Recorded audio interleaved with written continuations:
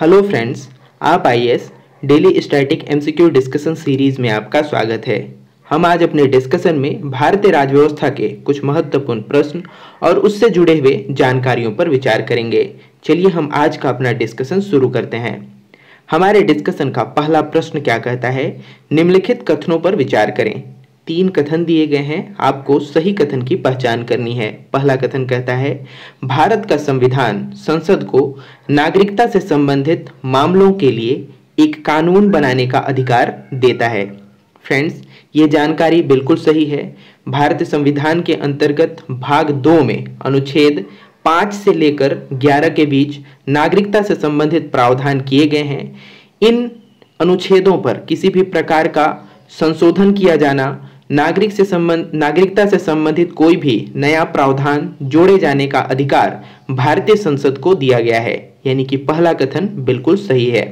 हालाँकि, संसद के द्वारा नागरिकता के मामलों में किया गया कोई भी संशोधन संशोधन के रूप में नहीं गिना जाता, क्योंकि ये साधारण बहुमत से किया जाता है तो इसे आप ध्यान में रखेंगे। दूसरा कथन क्या कहता है? भारत में केवल जन्म से नागरिक ही राष्ट्रपति के पद के लिए योग्य होता है। ये गलत है। क्यों फ्रेंड्स क्योंकि भारतीय संविधान के अंतर्गत किसी भी प्रकार का ऐसी योग्यता भारत के राष्ट्रपति बनने के लिए नहीं रखी गई है। उसमें बस यही लिखा गया है कि भारत के राष्ट्रपति होने के लिए व्यक्ति को भारत का नागरिक होना चाहिए, चाहे वो जन्म से भारत का नागरिक हो या फिर प्राकृतिकरण के माध्यम से उसे भारत का नागरिकता दिया गया हो। तो इसे आप ध्यान रखेंगे। लेकिन जो अमेरिका है, वहाँ वहाँ के राष्ट्रपति होने के लिए वहाँ जन्म से नागरिक व्यक्ति ही राष्ट्रपति के पद पर आसीन हो सकता है। किसी दूसरे तरीके से यदि कोई व्यक्ति अमेरिका का राष्ट्रपति बना हो तो उसे अमेरिका के राष्ट्रपति के रूप में आसीन होने नहीं दिया जाएगा। तो इसे आप ध्यान में रखेंगे।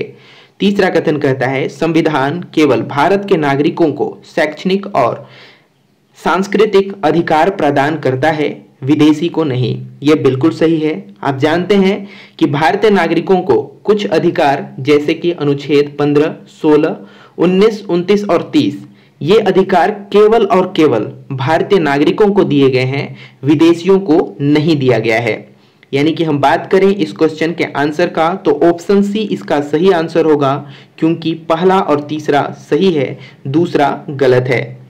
अगर हम बात करें इसके अंतर्गत अनुच्छेद 15 का तो इसमें कहा गया है कि जाति, धर्म, लिंग, जन्मस्थान इत्यादि के आधार पर किसी भी प्रकार से किसी भी भारतीय नागरिक से भेदभाव नहीं किया जाएगा। इसी प्रकार अनुच्छेद 16 के अंतर्गत रोज़गार के मामलों में समानता की बात की गई है। हालाँकि इसमें कुछ अपवाद भी जोड़े गए हैं। उसी प्रकार से अनुच्छेद 19 लोगों को अपने आप को अभिव्यक्त करने, विधानसभा, संघ, आंदोलन, निवास, पेशा इत्यादि का अधिकार देता है। अनुच्छेद चार अनुच्छेद 29 और 30 के अंतर्गत शैक्षणिक और सांस्कृतिक अधिकार दिए गए हैं और ये दोनों के दोनों भी केवल और केवल भारतीय नागरिकों को हैं। इसके अलावा कुछ ऐसे ही अधिकार हैं, जैसे कि लोकसभा और राज्य विधानसभा के चुनाव में मतदान करने का अधिकार केवल भारतीय नागरिकों को है। इन्हीं चुनावों में सदस्यता के रूप में चुनाव लड़ने का अधिकार भी भारतीय नागरिकों को दिया गया है। किसी भी प्रकार का सरकारी पद, चाहे वो राष्ट्रपति का पद हो या फिर अटॉर्नी जनरल महाअधिवक्ता, उच्च न्यायालय या फिर सुप्रीम कोर्ट के अंतर्गत जो न्यायाधीश नियुक्त किए जाते हैं, उन पर आसीन होने का अधिकार भी केवल और केवल भारतीय नागरिक, नागरिकों को दिया गया है। तो आप इन सारी बातों को ध्यान में रखेंगे। हमारे डिस्कशन का दूसरा प्रश्न क्या कहता है? निम्नलिखित कथनों पर विचार करें।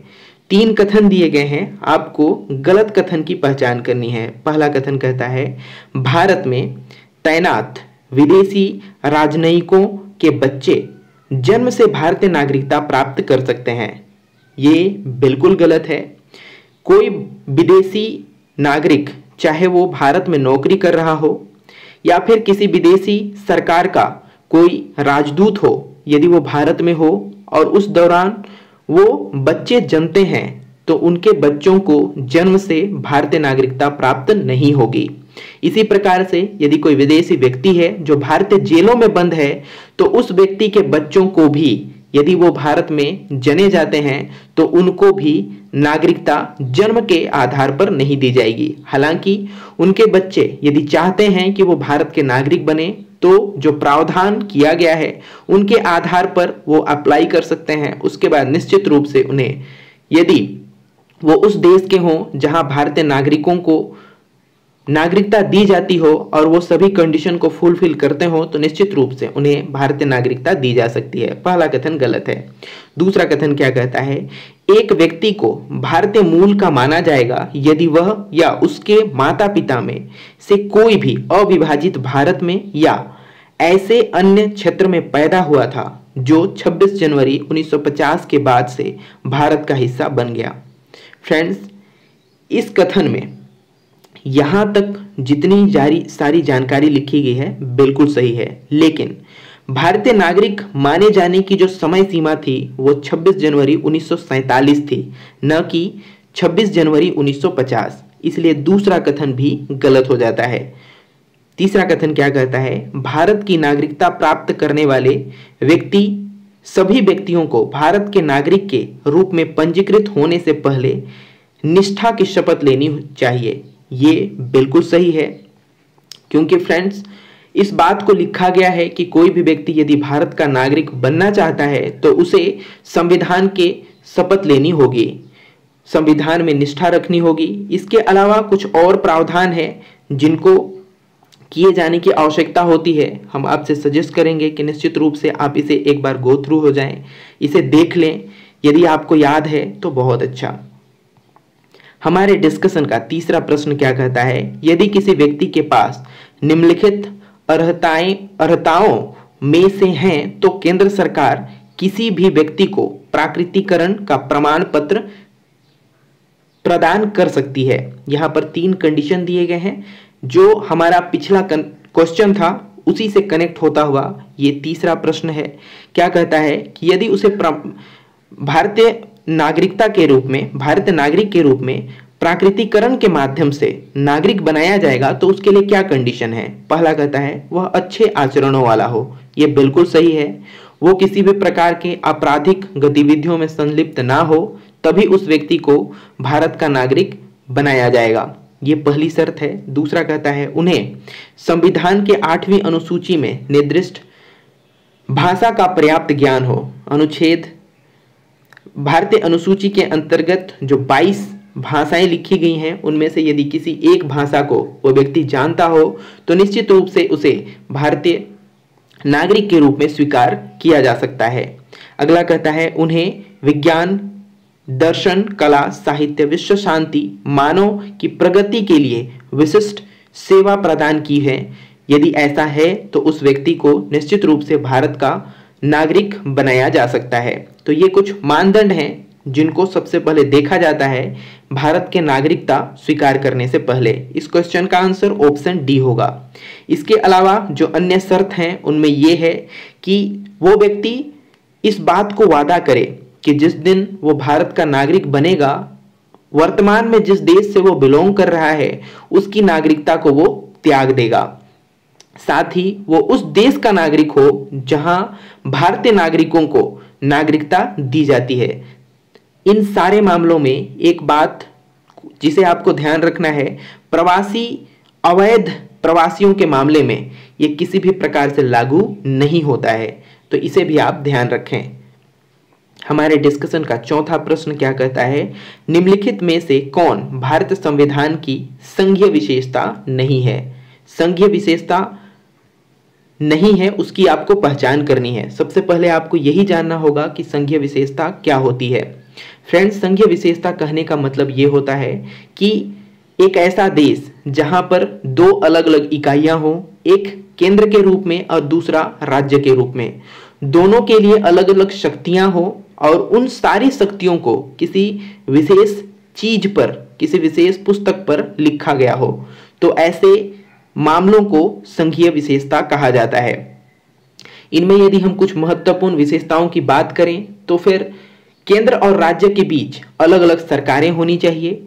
इन सरकारों के बीच शक्तियों का बंटवारा होना चाहिए, जो कि लिखित रूप में हो, संविधान की सर्वोच्चता होनी चाहिए और एक स्वतंत्र न्यायालयी व्यवस्था होनी चाहिए तो वो संघीय विशेषता माना जाता है।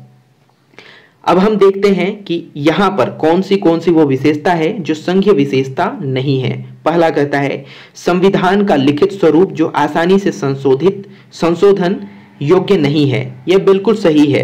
क्यों फ्रेंड्स क्योंकि यदि संविधान में आसानी से संशोधन किया जाएगा तो केंद्र सरकार ही या तो राज्य सरकार ही संशोधन कर लेगी और अपने हक का प्रावधान कर लेगी और यदि ऐसा होता है तो वो संघीय विशेषता नहीं होगी। लेकिन यदि लिखित रूप से संविधान हो और वहाँ आसानी से संशोधन न किया जा रहा हो, संशोधन किए जाने के लिए राज्यों का भी समर्थन आवश्यक हो तो उस मामले में हम कह सकते हैं कि यह विशेषता संघीय विशेषता है। यानी कि इस क्वेश्चन के आंसर के रूप में आप पहले को नहीं चुन सकते। आप आंसर तक पहुँच चुके हैं। पहले, तीसरे और चौथे को आप एलिमिनेट कर दीजिए, आप आंसर तक पहुँच जाएँगे। लेकिन फिर भी हम दूसरे कथन को देखते हैं। दूसरा कथन कहता है, राज्य में सभी राज्यों का समान प्रतिनिधित्व। ऐसा नहीं है। राज्यों के प्रतिनिधित्व की बात राज्यसभा में जनसंख्या के अनुपात में की गई थी ताकि जनसंख्या का प्रतिनिधित्व किया जाए। हर राज्य के निश्चित जनसंख्या का प्रतिनिधित्व करने के लिए राज्यसभा का प्रावधान किया गया था, न कि संघीय विशेषता के लिए। तो इसे आप ध्यान रखें। तीसरा कहता है, राज्य सरकारें केंद्र से अधिकार प्राप्त करती हैं। यह गलत है, क्योंकि राज्य सरकारों को जो अधिकार दिया गया है, वो संविधान के द्वारा दिया गया है, न कि केंद्र सरकार के द्वारा उसे किसी भी प्रकार का अधिकार दिया गया है। तो दूसरा और तीसरा, दोनों का दोनों गलत है। संविधान की विशेषता, संघीय विशेषता से इनका कोई लेना देना नहीं। इसीलिए ऑप्शन बी इसका सही आंसर होगा। तो आप इसे ध्यान में रखेंगे। हमारे डिस्कशन का पांचवा और अंतिम प्रश्न क्या कहता है? विधान परिषद के चुनाव के तरीके के बारे में निम्नलिखित कथनों पर विचार करें। तीन कथन दिए गए हैं। आपको गलत कथन की पहचान करनी है। किसके बारे में? विधान परिषद के चुनाव के बारे में। पहला कहता है दो बटे तीन सदस्य। स्थानीय निकायों के सदस्यों द्वारा चुने जाते हैं, जैसे नगरपालिका, जिला बोर्ड इत्यादि। फ्रेंड्स विधान परिषद के अंतर्गत जो चयन किया जाता है, उसमें से एक तिहाई सदस्य, न कि दो तिहाई सदस्य, सदस्यों का चयन स्थानीय निकायों से किया जाता है। तो आप याद रखेंगे, स्थानीय निकायों से विधान परिषद के लिए कितने लोगों को चुना जाता है, एक तिहाई सदस्यों को चुना जाता है। इसलिए पहला गलत है, दूसरा कहता है, दो तिहाई सदस्य राज्य विधानसभा के सदस्यों द्वारा उन व्यक्तियों में से चुने जाते हैं जो विधानसभा के सदस्य नहीं हैं। यह भी गलत है, क्योंकि राज्य विधानसभा के द्वारा जिन सदस्यों को चुना जाता है, उनकी संख्या विधान परिषद में एक तिहाई है। तो इसे भी आप ध्यान रखेंगे। यानी कि पहला भी गलत है, दूसरा भी गलत है। तीसरा क्या कहता है? एक बटे बारहवा सदस्य तीन साल के स्नातक में से चुने जाते हैं। ये बिल्कुल सही है। क्योंकि जो अलग अलग हिस्सेदारी रखी गई है विधान परिषद में, उसमें से ऐसे सदस्य जो कम से कम स्नातक पूरा कर चुके हों और तीन साल हो चुका हो उन लोगों को विधान परिषद के अंतर्गत जगह दी जाती है। उनकी संख्या, कुल संख्या का एक बटे बारवा होता है। यानी कि इस क्वेश्चन के हिसाब से हम देखें तो गलत कथन पूछा गया था। पहला इसका आंसर होगा। ऑप्शन ए इसका आंसर होगा, क्योंकि तीसरा कथन सही है।